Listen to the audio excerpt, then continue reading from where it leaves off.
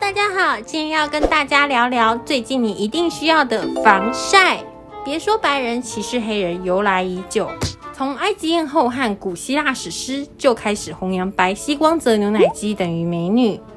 但是没有防晒乳的 long long time ago，究竟如何防晒呢？每只每只每只每一字动之势。第一招，看到太阳就躲。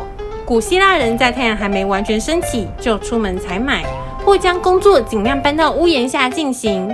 第二招，没有阴影我就穿衣服遮，戴帽子遮，用伞遮。所以有些热带国家反而容易见到宽檐帽、头巾、面纱、宽松长袍等包紧紧的传统服饰。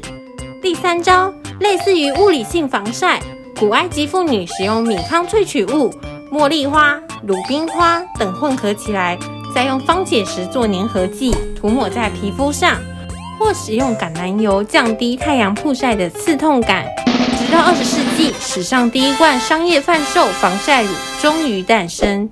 但走在先锋的人总是孤独的，没有被普遍使用。后来喜欢出海登山的巴黎莱雅创始人，晒伤晒到开始研发防晒乳。同时期还有用自己秃头做实验的美国药商，bla bla bla。他们的发明虽然被成功推广，也唔够代际，不是容量循环像你简单。他们的产品没办法阻挡大量紫外线照射，反而让以为擦防晒就能安心晒日光浴的芸芸众生，变成皮肤癌的受害者。于是瑞士化学家 bla bla bla 在登山时被高山上的紫外线晒到冻北雕。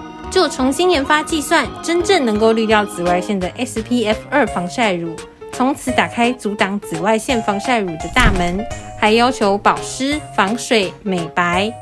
但你不好奇这些价格贵了不止一点的多功能防晒霜真的能美白吗？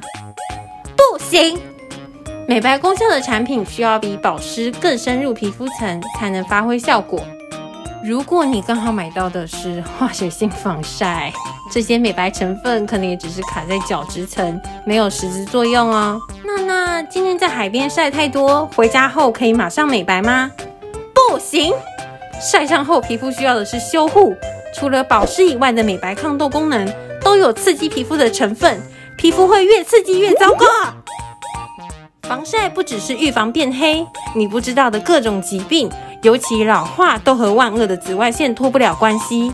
国外一位司机因为长期驾驶，有半边脸晒到侧边窗户的阳光，导致两边脸看起来相差近三十岁。美医志提醒您：炎炎夏日出门在外，一定要时刻注意防晒补水哦。